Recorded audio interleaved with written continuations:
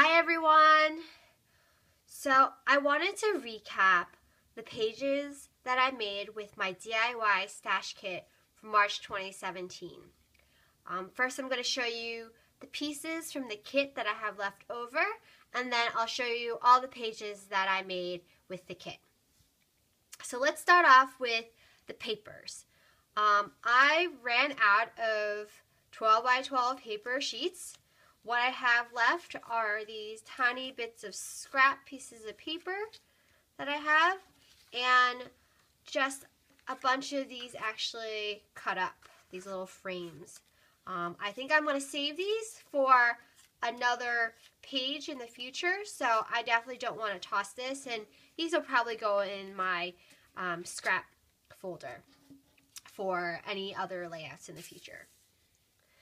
Then when it comes to embellishments, I still have the three rolls of washi tape that I included. I figured that was going to be the case, but I definitely wanted to um, make an effort to use some of my washi tapes.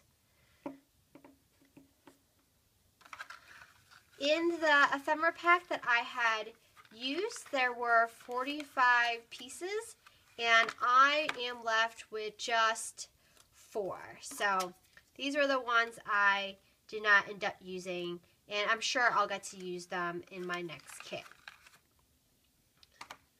I added my Dear Lizzy flags that I had made to this kit and had a few, quite a few, and now I'm just left with three. And these were a little tough to use because it says birthday boy, birthday girl.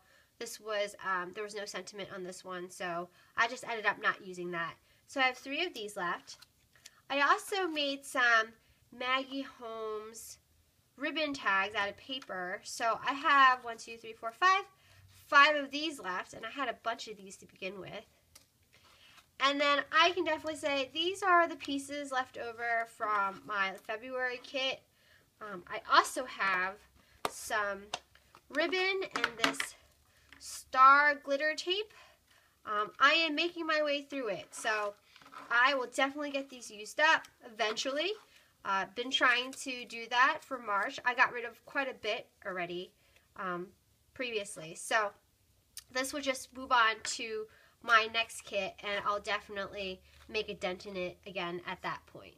So that's that. Probably will toss this box and this box will come out again when we do April 2017.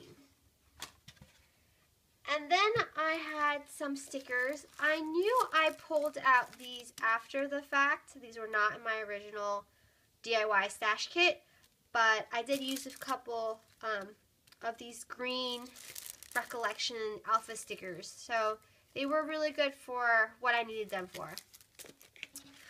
I had a whole pack of Mambi chipboard stickers and these also clear stickers. The only thing I have left is this one that says we are blank and sleeping.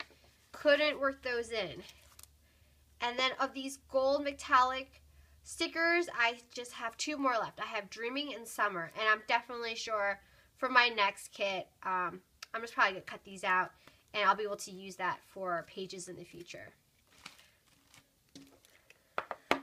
For embellishments. And then, of course, my thickers. I think I used a little bit of everything. Um, I know I wasn't going to use them all, but I definitely want to make an effort to use more of my thickers because I have tons of that. So definitely useful for the future. Thickers are always handy to have. Now for my pages. I don't remember how many I made.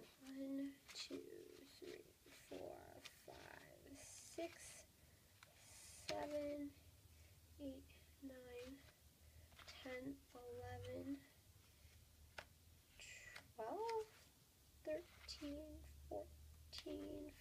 15, 16.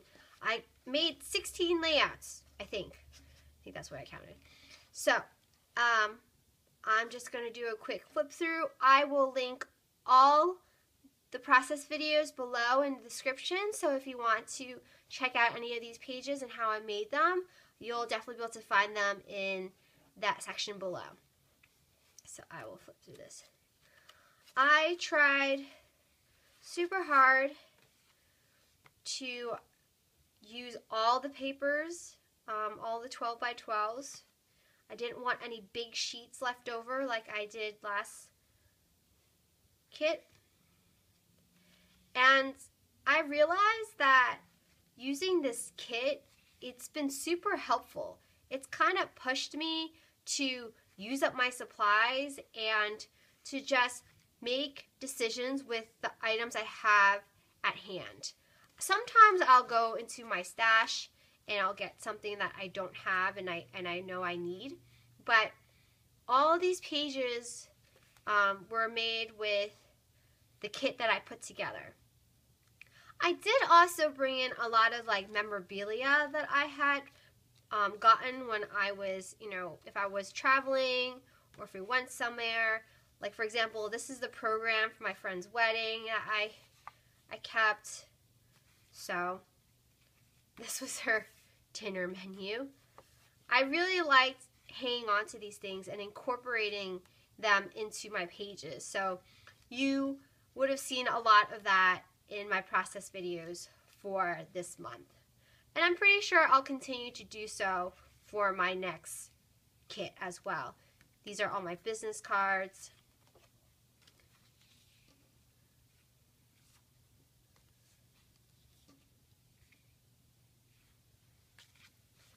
So there you have it. Those were all my layouts for this month. I think it was quite a success and I'm really looking forward to doing this again for April. So I hope you'll come back again and join me and subscribe, of course. So if you like what you've seen, please give me a thumbs up. If you have any comments or questions regarding my DIY stash kit videos and series, uh, just leave them below. And I hope you have a crafty day. Bye!